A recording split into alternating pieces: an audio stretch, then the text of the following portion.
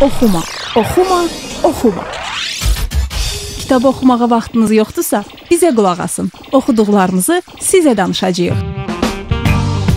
Dan Brown müasir dövrün ən yaxşı detektiv yazarlarındandır. Onun ən çox oxunan bestsellerlərindən biri də İtirilmiş simvol romanıdır. Əsər 2009-cu ildə çap olunub və ilk həftəsində 600 min tirajla satılaraq nəşriyyat evinə 7 milyon dollardan çox pul qazandırıb.